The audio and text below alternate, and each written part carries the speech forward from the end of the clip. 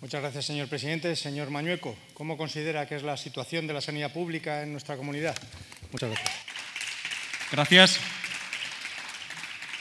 Para contestar tiene la palabra el presidente de la Junta de Castilla y León, el señor Fernández Mañueco. Eh, gracias, presidente. Señor Tudanca, la sanidad en España está soportando una de las mayores tensiones de nuestra historia. El sistema público de salud y muy especialmente los profesionales están desde luego a la altura respondiendo a las necesidades que tiene la gente. Quiero agradecer muy especialmente los esfuerzos de todos los profesionales, tanto en el ámbito hospitalario como en el ámbito de la atención primaria, con su compromiso con las personas y desde luego comprometo mi gobierno con la mejor sanidad pública en beneficio de todos. Muchas gracias. Gracias. Para un turno de réplica tiene la palabra el señor Tudanca Fernández. Muchas gracias, señor presidente. Señor Mañueco, ya es indiscutible que estamos en medio de la segunda ola de esta pandemia, inmersos en una difícil batalla ante la cual la única defensa que hemos tenido, que tenemos y que tendremos es la sanidad pública. Y es verdad, el trabajo inmenso de sus profesionales. Hoy la consejera de Sanidad de esta comunidad autónoma ha dicho que somos la tercera comunidad autónoma en ingresos, que somos la quinta comunidad autónoma en ingresos UCI. Volvemos a ser de las comunidades autónomas más castigadas de España. Y fíjese, cuando yo le pregunto por la sanidad aquí, usted hace lo mismo. Habla de la sanidad de España, como si usted no tuviera las competencias sanitarias, y se intenta esconder detrás de los profesionales. Pero no, nosotros hemos tratado de ayudar durante todo este tiempo, no le quepa la menor duda de que vamos a seguir haciéndolo porque volvemos a estar en una situación crítica. Le hemos traído propuestas, solo en los últimos plenos, un plan de inversiones sociales prioritarias en el ámbito sanitario, solo en mm, las últimas semanas le hemos propuesto un fondo para adecuar los consultorios médicos a la nueva situación y poder atender presencialmente a los pacientes. Usted ha votado que no. Mañana va a tener una nueva oportunidad con una propuesta para eh, establecer incentivos a los profesionales. Eso sí es ayudarles, eso sí es defenderles, eso sí es retenerles. Estoy seguro de que usted votará también que no. Pero la pregunta es si durante estos meses usted eh, ha hecho algo para fortalecer la atención primaria, la sanidad pública, para que estuviéramos mejor preparados. Y la respuesta lamentablemente es no, señor Mañueco. Le voy a contar solo algunas cosas que hemos conocido estas semanas. Hemos visto cómo se publicaban los fallos y los retrasos en, eh, las PCRs en algunas provincias por faltas de reactivos. Esto ha provocado retrasos en los rastreos y, por tanto, en el control de la pandemia.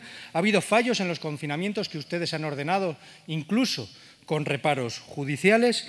En Sotillo de la Ribera, uno de los municipios que han confinado, los habitantes de ese pueblo han manifestado su queja, su dolor, porque además les han dejado sin médico, una situación en la que se encuentran muchos municipios cientos de miles de habitantes en esta comunidad a los que ustedes han dejado sin médico desde el mes de febrero, manteniendo cerrados los consultorios médicos en contra de su palabra, en contra de lo que usted mismo firmó. A ver si entienden que los sanitarios no son telefonistas, que no se puede prestar la sanidad por teléfono, que eso no está sirviendo para parar la pandemia. Ustedes han dejado sin monitores el transporte escolar, incumpliendo su promesa. Ustedes han privatizado las pruebas PCR a los alumnos y a los profesores. Ustedes eh, han llevado un deterioro inmenso a la sanidad pública, que provoca, como publicaba también un medio de comunicación, que esté habiendo un auge enorme de la medicina privada algunos hacen negocio, mientras ustedes privatizan. Los contratos de médicos eh, están precarizados, el 75% de los contratos que hicieron a médicos en Soria eran de menos de tres días, y así no se puede fidelizar a los profesionales. Bueno, en fin, así no hay profesionales sanitarios para contratar en la pública, pero sí los hay en la privada, así no hay dinero para reforzar la atención primaria, pero sí para privatizar las pruebas, y esto tiene que ver con su modelo de privatización. Usted tiene que explicar por qué desde el mes de octubre ocultó un informe sobre las irregularidades en la privatización del Hospital de Burgos. Tiene que explicarlo. ¿Por qué ha habido un sobrecoste de 700 millones de euros en ese hospital privado que nos hubiera venido muy bien para atender, mejorar y reforzar la atención primaria, el conjunto de la sanidad pública durante los meses más duros de la pandemia? Usted tiene un modelo que es heredero del de siempre del Partido Popular en esta comunidad autónoma, de recortes en servicios públicos y de privatizaciones, y eso tiene consecuencias. Usted dirá que no me resisto a decirlo, pero ¿cómo me voy a resistir? Hoy publica el Instituto Nacional de Estadística las previsiones para los próximos 15 años. Castilla y León vuelve a ser la comunidad autónoma que más habitantes va a perder de toda España. Y esto no es casual porque lleva pasando décadas. Es la responsabilidad, es la consecuencia de sus políticas, porque con crisis o sin crisis, con pandemia o sin pandemia, pero siempre con gobiernos de la derecha, esta comunidad autónoma se desangra y pierde población a las puertas. Y es usted el responsable. Gracias. Para un turno de dúplica tiene la palabra el presidente de la Junta de Castilla y León, el señor Fernández Mañueco. Gracias, presidente. Habla de un informe sobre el UBU. Eh, lo que no dice es que el propio autor de ese informe en la carta de remisión reconoce que el documento tiene un alcance limitado, que no es un análisis sistemático de la propia concesión y que además el objetivo de ese informe no es analizar la legalidad de la adjudicación. Frente a ese informe hay que recordar lo que han hecho no solo la justicia, sino los principales organismos de control del Estado. Fíjese, la, intervención general del Estado dice que se siguió el procedimiento y que no se detectaron incumplimientos. Y frente a las denuncias ante el Tribunal de Cuentas, ante la Fiscalía, ante la justicia en Burgos, todas esas denuncias acabaron archivadas. Eso es lo que usted no dice, señor Tudanca. Habla de recortes y de privatizaciones y falta a la verdad. Léase usted el informe de los directores de servicios sociales de toda España. Léaselo porque analizará con detenimiento ese informe y verá dos conclusiones.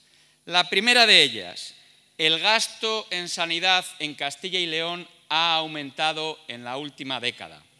La segunda de ellas, la segunda conclusión, Castilla y León somos la segunda comunidad autónoma que mayor porcentaje presupuestario, que mayor esfuerzo presupuestario hacemos en el ámbito de la sanidad. Esa es la realidad. La tercera cuestión, que no dice ese informe, lo digo yo. Conmigo de presidente, con este Gobierno, seguiremos apostando por el esfuerzo presupuestario en sanidad. ¿Y cómo lo vamos a hacer? Pues como lo estamos haciendo en los últimos meses.